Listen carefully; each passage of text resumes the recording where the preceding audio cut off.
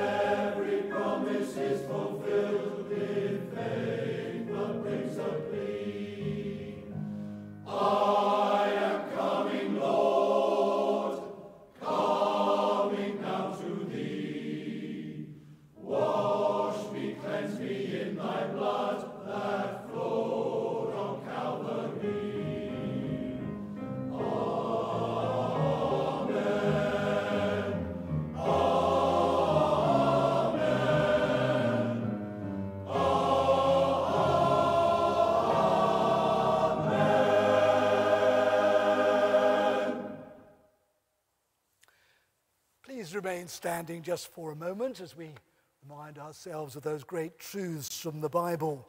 The eternal God is our refuge, and underneath are the everlasting arms. The steadfast love of the Lord never ceases, his compassion never fails. Every morning they are renewed. Eye has not seen, nor ear heard, nor the heart of man conceived what God has prepared for those who love him. Do sit.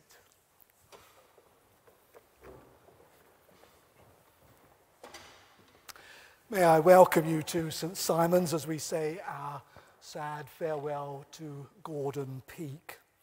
Partings are always sad occasions, aren't they?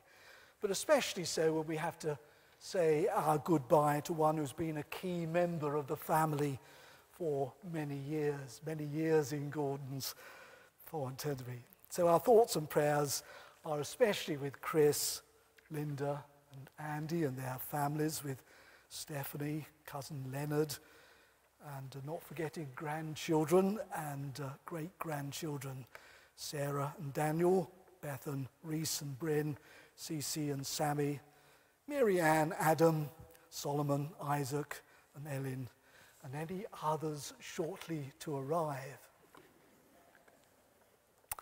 Today gives us the opportunity to uh, thank God for Gordon's long and full life, for his personality, his gifts, his interests, and his service to the community. But it's also a time of reflection on our own mortality and uh, thanking God for the firm assurance that we have in Christ for eternity. So as we sit, let's ask our loving Father to be with us today as we pray. Gracious God, as we gather and share together Gordon's family and friends, to celebrate Gordon's life, to express our confidence in the risen Christ and our eternal hope strengthen us for the trials of this day. May we know your fatherly care to uphold us, the living presence of the Lord Jesus to sustain us, the consolation of your holy word to encourage us, and the power of the Holy Spirit to enable us to persevere. Through Jesus Christ our Lord. Amen. We're going to stand to sing our first hymn, Be Still, for the presence of the Lord. Let me just say a word about masks. If anybody is more comfortable wearing a mask, that's fine. If you'd rather not wear a mask, that's equally fine. It's your own personal choice. But there's lots of air around, and I think everybody probably be uh, safe here. But can I ask you to stand as we sing together, Be Still for the presence of the Lord?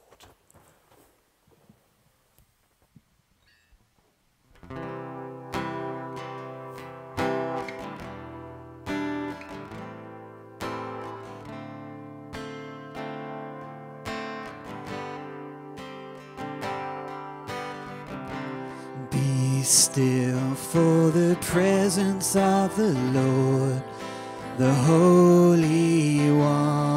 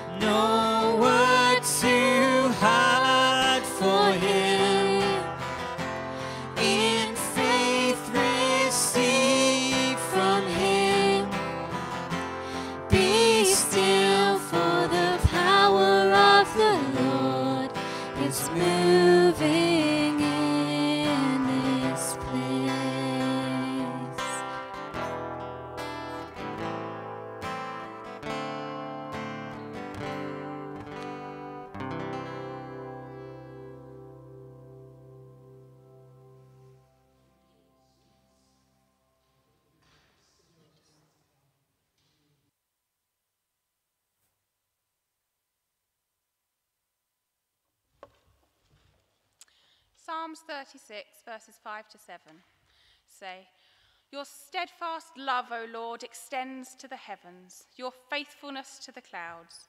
Your righteousness is like the mountains of God, your judgments are like the great deep. Man and beast you save, O Lord. How precious is your steadfast love, O God. The children of men take refuge in the shadow of your wings. Micah 6, verse 8. He has shown you, O man, what is good. And what does the Lord require of you? But to do justice and to love kindness and to walk humbly with your God. Romans 13:10. Love does no wrong to a neighbor. Therefore love is the fulfilling of the law.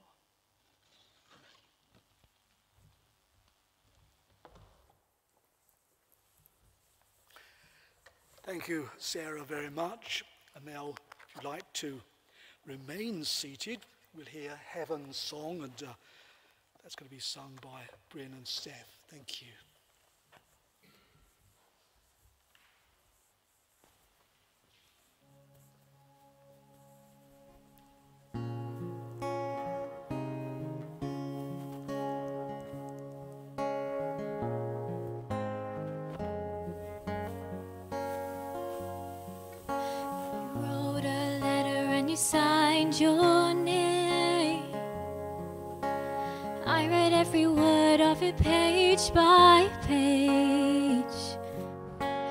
Said that you'd be coming, coming for me soon.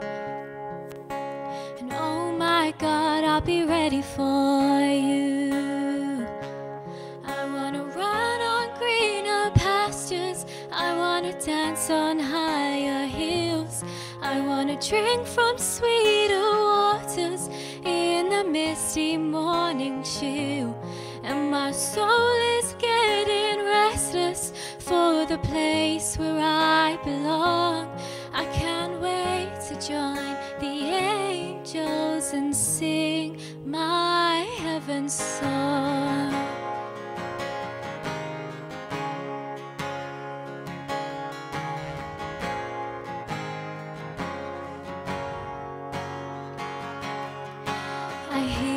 voice and I catch my breath. Well done, my child, enter in and rest. Tears of joy roll down my It's beautiful beyond my wildest dreams. I wanna run on greener pastures. I wanna dance on higher hills. I wanna drink from sweeter waters in the misty morning chill. And my soul is getting restless for the place where I belong. I can't wait to join the and sing. I wanna run on greener pastures. I wanna dance on higher hills. I wanna drink from sweeter waters in the misty morning chill. And my soul is getting restless for the place where I belong. I can't wait to join the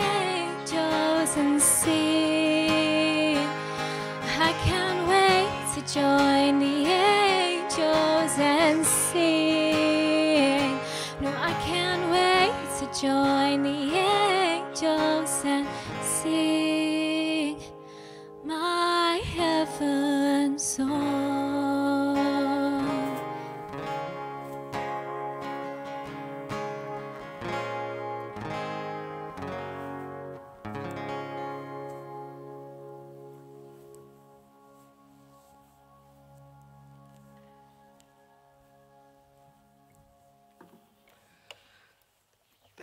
so much, Bryn and Steph. It's a great delight now to invite uh, Chris to our lectern, and Chris is going to share about uh, his dad's life. So thank you so much for taking that trouble for us.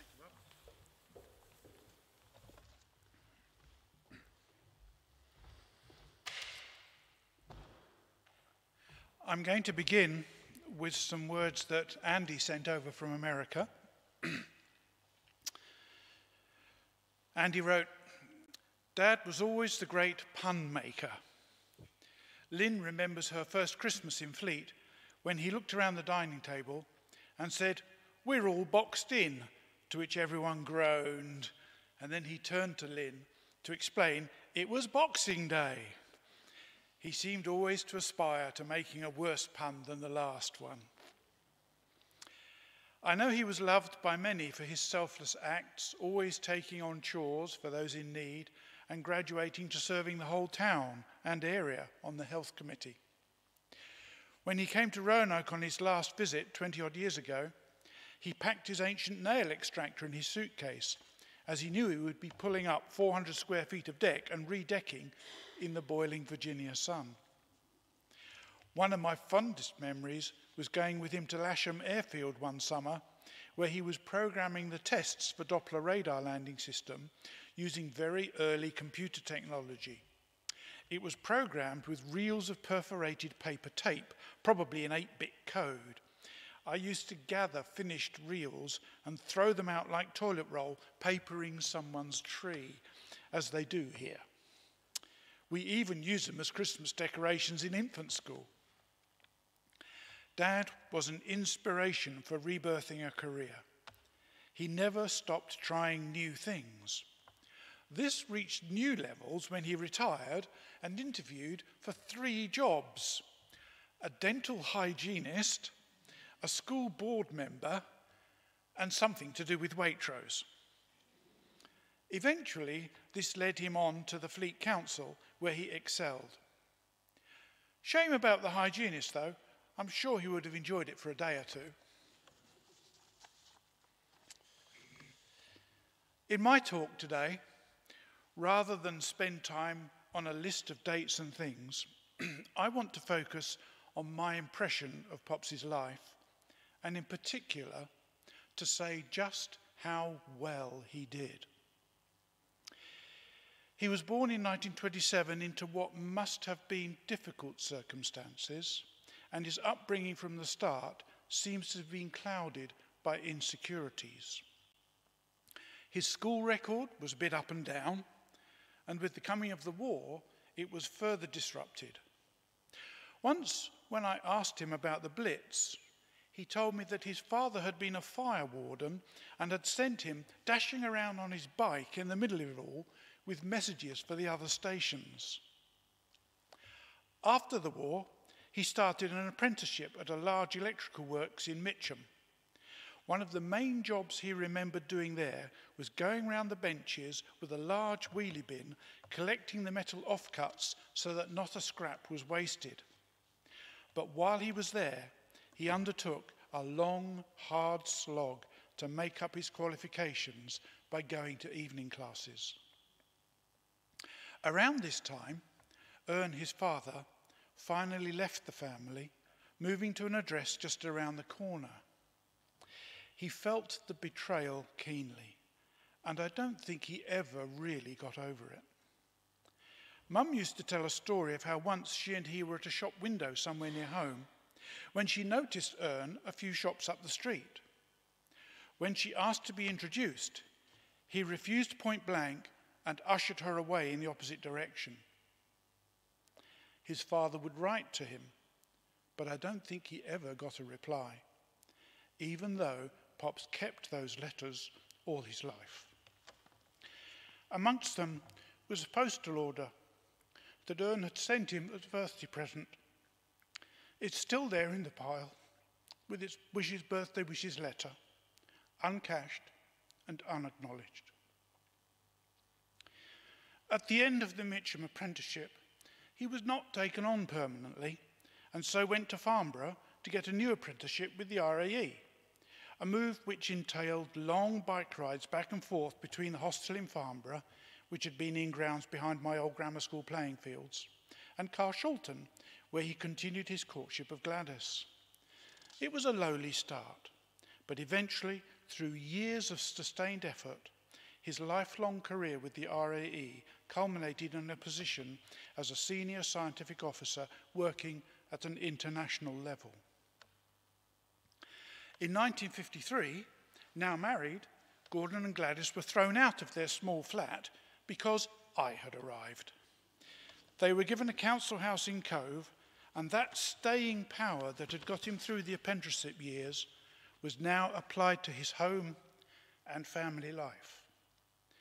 Determined to be better than his origins, he made it his life work to be a faithful husband and good father, leading our family not just to get by, but to reach out and achieve.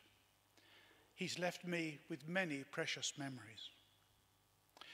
On one occasion, I was struggling with some maths homework, just starting to do fractions. I can remember he spent the whole evening until way past my bedtime trying to teach me how decimal places worked. Well, it all seemed to make sense as he said it, but I didn't really understand a word. He was always very patient as well as helpful. But when it came to expressing things emotional, anally retentive doesn't begin to cover it. Nevertheless, I always felt that we had an unstated bond.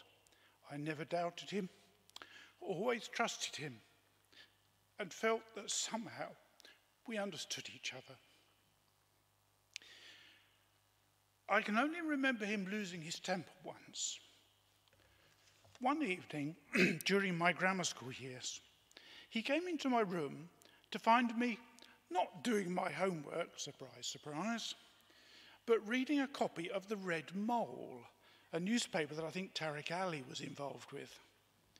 He was so upset, he gave me a speech about what the point was of all the work he was doing at the RAE, trying to keep our nation ahead of the communist threat. And then he took the paper, put it in the bin, and went out without a further word. He never knew it, but I had been coming to the conclusion that it was a bit of a rabid rag anyway. I looked at it in the bin, decided it wasn't worth picking it out again, and turned at last to my homework. The incident was never mentioned again. One memorable evening in my college years, I set off to ride a dodgy 50cc motorbike all the way back to Barry in South Wales after a weekend at home. after a number of stops, it finally gave out somewhere near Basingstoke. So I called home for help. out he came in the Zodiac, we put the bike in the boot, and he drove me all the way to college. We arrived around 1 a.m., but without demurring, he offloaded me in the bike and then drove straight back home through the small house. That was Pops. But in the end, it all paid off, as all three of us ended up with degree level qualifications and professional careers. The mid 1960s saw the beginning of the trend for family holidays in France and Spain. And although we didn't have much money, we weren't going to miss out. It must have been 1964 when Pops bought a tent fixed up the old car, created a rack for the spare wheel on top of the boot lid so that everything else would fit inside, and drove us all to what was then the tiny fishing village of Garraf, south of Barcelona, for a glorious fortnight in the sun. In fact, he did it two years in a row. One of the few books I remember being in the house was one called I Bought a Dream by Anne Edwards. Programmatic for that generation, it was the story of how a couple bought a large rundown old house in the country and turned it into a dream home. So the house hunting began. And although we did look at some rundown treasures, in the end they bought a brand new house, not out in the wilds, but in Church Crookham, which was admittedly a bit nearer the wilds then than it is now. In typical pop style, he bought the house not quite finished and used flat pack furniture kits to make his own design of partition wall between Andy's room and mine, as well as fitted robes in the other bedrooms. The house also came with an eight foot high pile of dirt in the front garden. The back garden, which had been a pig pen before, had to be dug over and levelled by barrowing through all this dirt until a lawn could be laid. I think I helped. That house became his life project when he designed and helped build the extension that turned it into the family centre we all remember, with its Heath Robinson style extended dining table and beautifully kept garden. It also led to a growing commitment to the community of Fleet. Whatever Pops got involved in, and he led a very active life, he wanted to give as well as benefit. He spent many years supporting the RAE Operatic Society, sitting at the back of the Assembly Hall, managing the microphones and quietly singing along in his headphones before he eventually plucked up the courage to join the chorus. And later, he came out of his shell even more with the Hart Male Voice Choir. But whether it was with these groups or the RE Technical Society or the Matinee Club, which was pretty much his creation, or the various things he got involved in through being a Lib Dem councillor on Hart District Council, he always did more, even if it did often end up with him being the chairman or some other officer of the committee. It was just his way of doing what he could to make the world a better place. And the roots he and Mum put down in Fleet go deep and wide. He was always a sober person, never drank or smoked, ate healthily, and kept himself well exercised. So it came as a bit of a car crash when, at about 90 years of age and still living like a 65 year old, dementia struck them both. Eventually, they just had to leave their beloved home and community to be cared for at Seaview. Yet, even there, his sense of responsibility and determination to care for his wife stood out. In some ways, it pained him not to be able to do what he felt he wanted to do.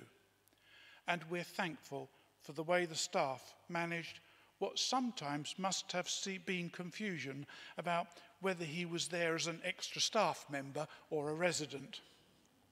Thank you, Seaview staff, for all of your loving care. He lived well, loved unfailingly, and left an example I, for one, won't be able to match.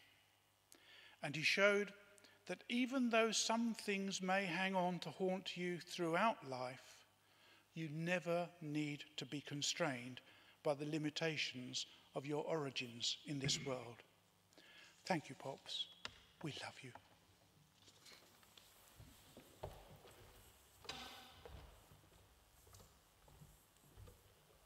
Thank you very much. Well, we've gathered together today to pay tribute to Gordon, who was a truly gifted man who used his many skills primarily for the benefit of others. So whether it was in local politics or cultural activities, sports clubs or community organizations, Gordon devoted time and energy to those many causes which were dear to his heart. So we can express our gratitude to God today for a valuable life, a life which was well lived. But as the years roll on, strength fades and faculties weaken, and there's a time to lay down some of those roles. As Ecclesiastes says, there's a season for every activity under heaven. For the Christian, that doesn't mean retiring into some humdrum existence without a goal or purpose. Rather, as the body loses power, shouldn't our spirits be developing a longing for the next phase of life, the next adventure of faith? I was touched by the song that Bryn sang for us, and my soul is getting restless for the place where I belong. I can't wait to join the angels and sing my heaven song. And that seems to me to echo much of the yearning that we find in the New Testament, the earnest desire for heaven and a heartfelt longing to be with our Lord who redeemed us. Paul the Apostle felt that, not knowing whether his ministry was going to be cut short, he declared, I desire to depart and be with Christ, which is much better. And later he writes, I press on towards the goal to win the prize for which Christ called me heavenward in Christ Jesus. Keeping going, that was what Paul felt to await that divine call with our gaze on the Master. Peter, too, he looked forward to an inheritance that could never perish or spoil or fade, but kept safe for us, treasure indeed. The writer of the Hebrews, for we do not have an enduring city, he said, here below. We are looking for a city that is to come. And that's the anticipation, isn't it? That's the longing, folks, of what is to come. That anticipation is well founded in John in Revelation marvels at the heavenly city that needs no sun, no noon, because the glory of God gives it light. And Jude exhorted his reading readers to praise him, who is able to keep us from falling and present you, this is Jude speaking, present us without fault and with great joy. How marvelous is that? Leaving behind our sin stained lives before God and being pure and unblemished. Can we imagine that? What a blessing that is. What a yearning that is. But you could only say that for those who came to our holy God in repentance and expressed that genuine faith in Christ, who died in our place on that cross of Calvary to take away our guilt. And it's solely because of Jesus we can have that longing, we can have that yearning, because he said, I am going to prepare a place for you. This is the Lord Jesus saying to us, I am going to prepare a place for you. Where I am, says Jesus, there you may be also. Greeted by the Saviour, welcomed home. What a vision to hold before us and spur us on, especially in sad times. And that transforms our total vision about death. Let's invite Bethan up to pray for us. Thank you.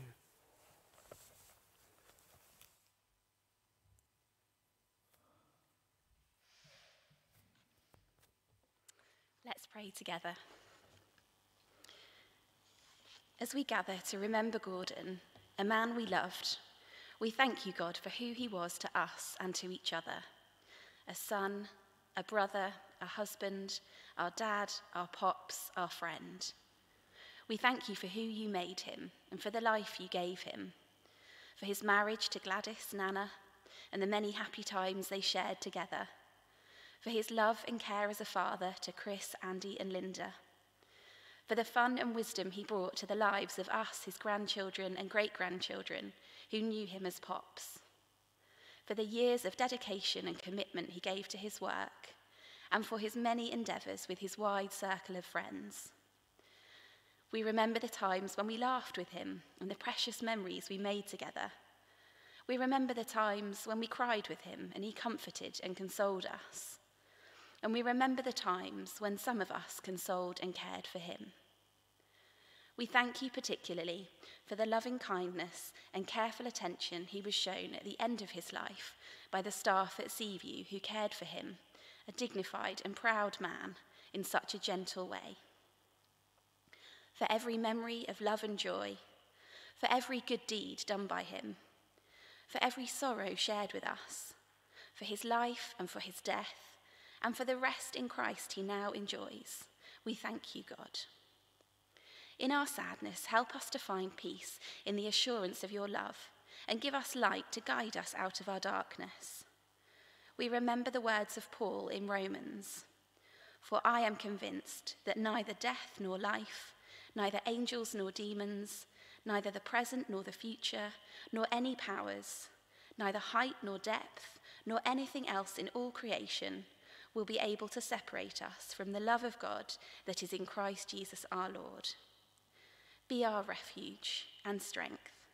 Reassure us of your continuing love and lift us from the depths of our grief into the light of your presence as we say goodbye to a man we have loved and lost, but who rests in peace with you now. Let's say together the words of the Lord's Prayer. Our Father, who art in heaven, hallowed be thy name. Thy kingdom come, thy will be done on earth as it is in heaven.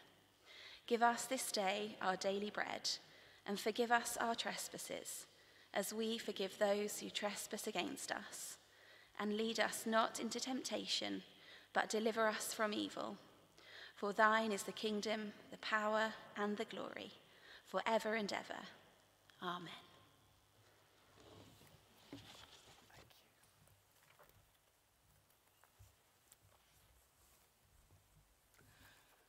May I invite you to stand as we sing In Christ Alone.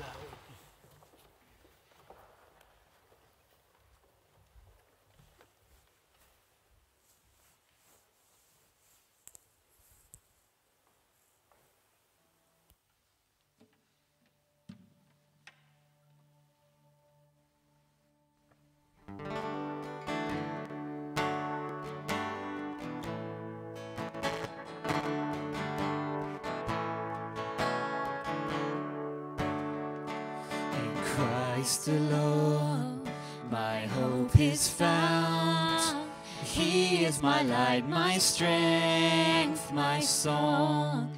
This cornerstone, this solid ground, firm through the fiercest drought and storm.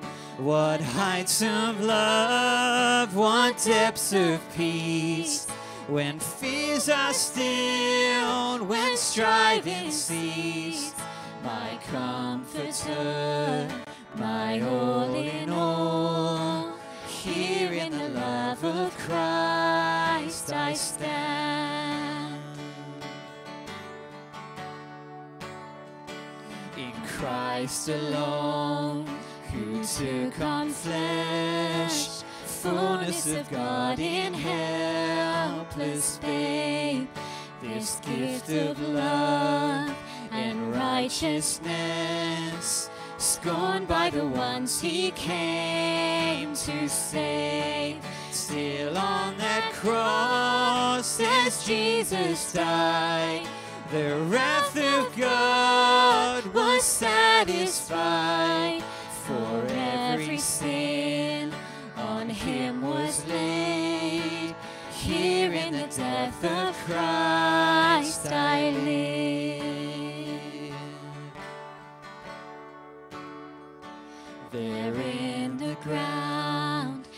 Body lay, light of the world by darkness slain, then bursting forth in glorious day. Up from the grave he rose again, still as he stands in victory. Since curse has lost its grip on me, for I is mine, bought with the precious blood of Christ.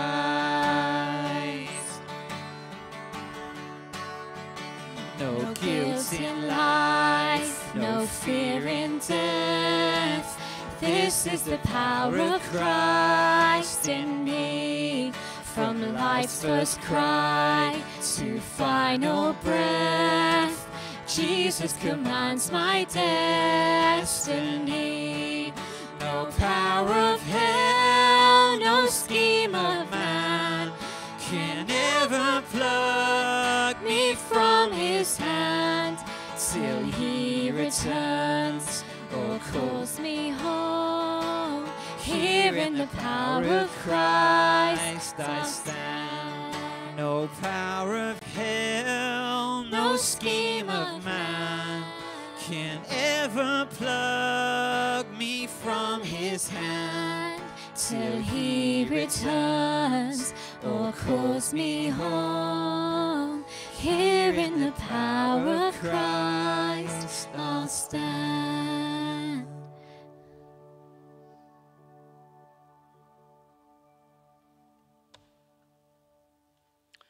From life's first cry to final breath, Jesus commands my destiny. So, having been reminded of that eternal truth, let's commend Gordon to the mercy of God, our Maker and Redeemer.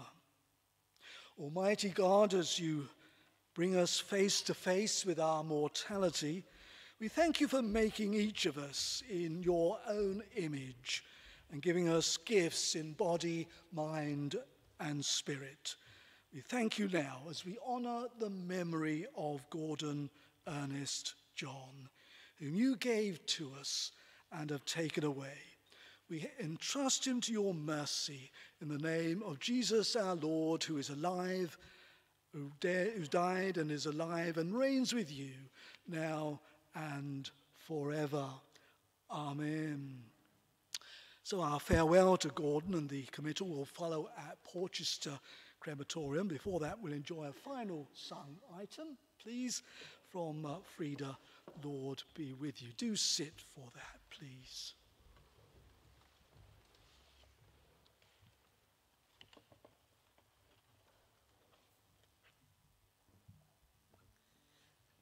I've written this song, Be Still. It's actually called Be Still, not what was in the actual um, pamphlet, which is very interesting, really, because I didn't know you were going to sing Be Still. It was because when I was thinking about Gordon, I was thinking about the last minutes of his, his life. Not going to be very good singing, am I, at this stage? anyway, and, and I was thinking, you know, um, it's the hearing goes, as you know, the last, the last thing that goes. And I just picture him there in that room listening to the surrounds. And I believe that God was there. This is my idea. this is my idea. And, and so I wrote a song about it. I hope I'll be able to sing it.